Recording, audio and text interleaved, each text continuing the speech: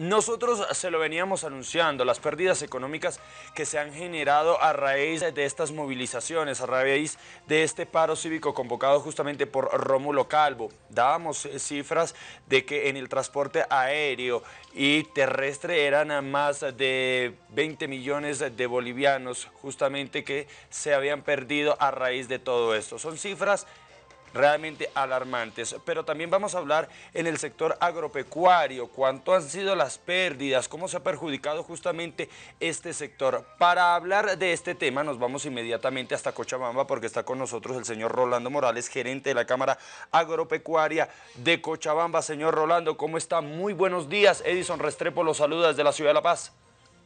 Muy buenos días, Edison. Un distinguido saludo para usted, por supuesto, a nivel nacional usted bien lo ha eh, manifestado al inicio, las pérdidas en el sector agropecuario cochabambino han sido muy grandes, muy grandes, más aún cuando nuestros productores primarios o de subsistencia trabajan día a día. Han sido nueve días de bloqueos que nos han lastimado profundamente. Bueno, y hablamos justamente de este sector, vamos a hablar, ya entrar en énfasis, por lo general, este sector, ¿cuánto factura, cuánto genera mensualmente, semanalmente y cómo ha golpeado justamente estas movilizaciones, este paro?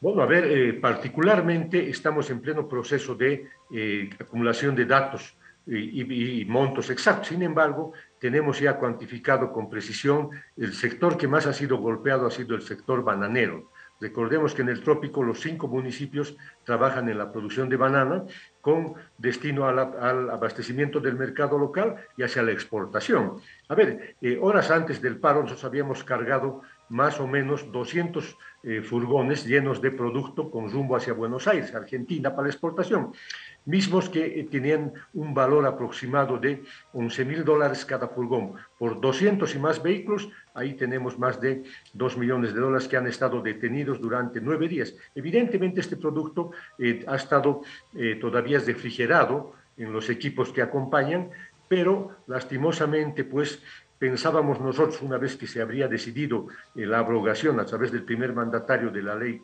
1386, motivo central de, de, los bloqueos, pues ya correspondía la libre transitabilidad, no fue así.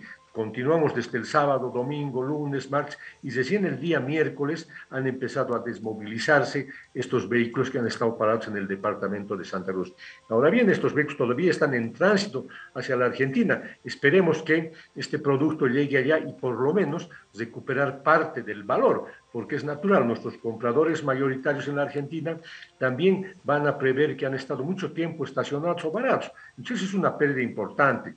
Asimismo, nos han manifestado los productores de la Organización Comunitaria de Banano, que donde trabajan 7.000 familias, de que ellos habían preparado más de 20.000, perdón, más de 200.000 racimos para cargarlos y continuar la exportación cuando estamos en el mejor momento. Esta fruta, al no tener nosotros cámaras de frío en el trópico, también se ha perdido. Por tanto, las pérdidas son cuantiosas, pero más allá de los montos, o querido está el impacto en esas más de 10.000 familias que trabajan en la cadena productiva de banano, solamente hablando de banano.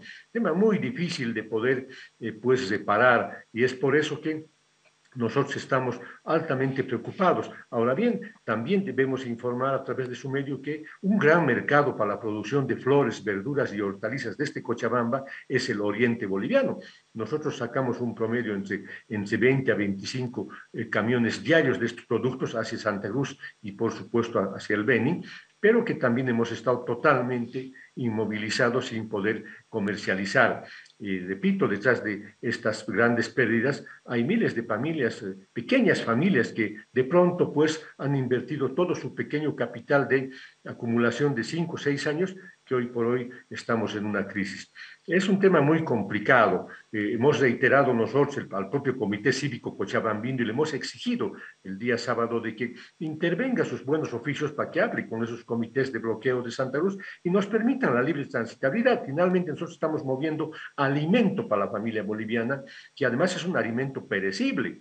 Por eso necesitábamos nosotros contar con una libre transitabilidad para que no tengamos estos impactos tan grandes de los cuales difícilmente nos estamos recuperando con dos herramientas. Primero, el bono contra el hambre, que ayudó a mover la economía en Bolivia, indudablemente, y por supuesto el crédito Sí Bolivia y otros programas que también estamos aplicando. La idea central o el concepto general que tenemos en la Cámara, los más de 100.000 asociados, es que estamos dedicados con mucha fortaleza a trabajar en nuestra propia reactivación, porque la reactivación es un sinónimo de mantener nuestro empleo y, por supuesto, evitar la, la de la crisis y de la pobreza en la familia agropecuaria cochabambina.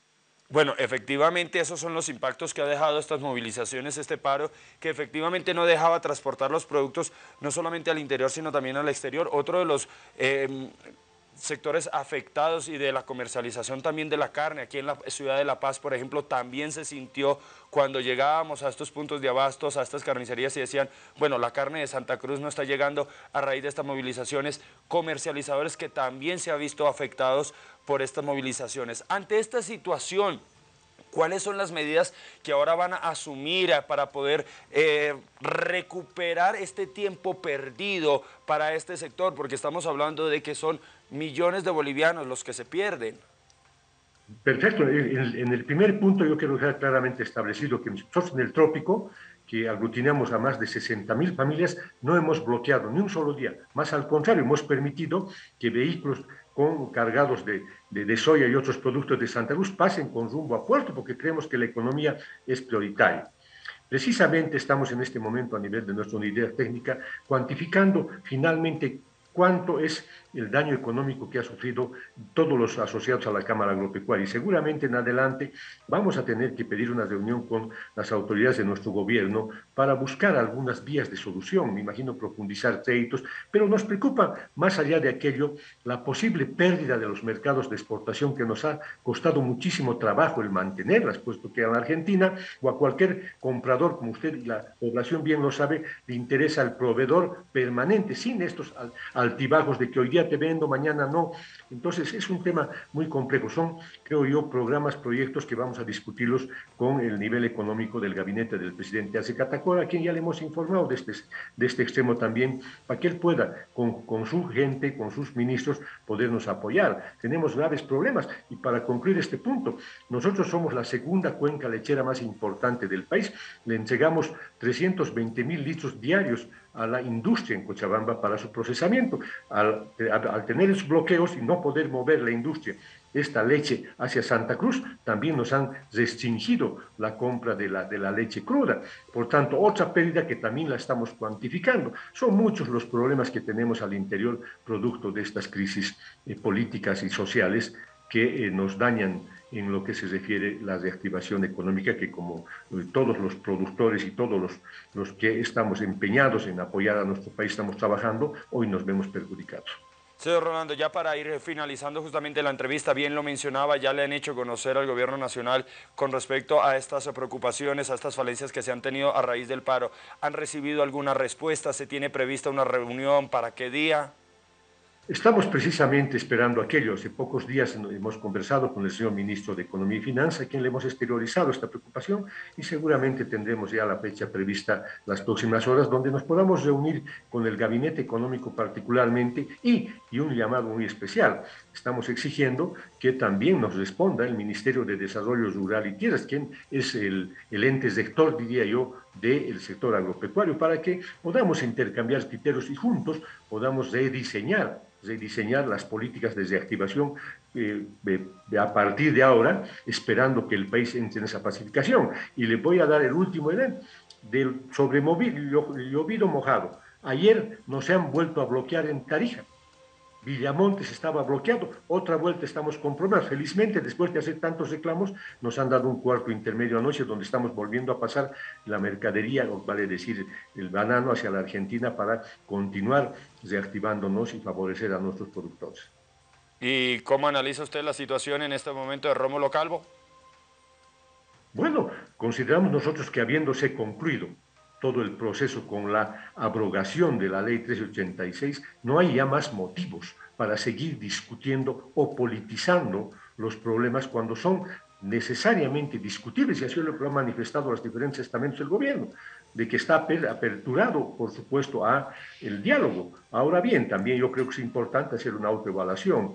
Eh, pudieron llamar particularmente nuestros parlamentarios de Cochabamba antes de que se inicie el anunciado bloqueo de nueve días pero lastimosamente no han estado presentes en los departamentos. Y eso también ocasiona este tipo de crisis. Creo yo que tienen que trabajar en el Ejecutivo Nacional conjuntamente nuestras asambleístas nacionales de forma mancomunada, socializando todo tipo de leyes que nos permitan a los bolivianos trabajar en ese marco de seguridad jurídica, porque finalmente nosotros somos privados y apostamos a nuestro país el poco capital que tenemos para salir adelante. Señor Rolando, muchísimas gracias por permitirnos estos minutos y bueno, sí, esperamos que todo pueda volver a la normalidad, de que este sector que se ha visto golpeado por estos nueve días y no solo eso, también ha sido golpeado, recordemos, por la pandemia en su debido momento y que de a poco eh, estamos saliendo de esta crisis económica. Muchísimas gracias, que tenga un excelente día. Lo mismo para ustedes, un distinguido saludo y muchas gracias. Ahí estaba con nosotros justamente el señor Rolando Morales, gerente de la Cámara Agropecuaria de Cochabamba, hablando acerca de las pérdidas económicas que ha generado este paro cívico de nueve días en Santa Cruz y que a raíz de ello pues la exportación y la comercialización de los productos a nivel nacional se vio perjudicada porque claro, no había la transitabilidad correspondiente. 7 de la mañana 45 minutos.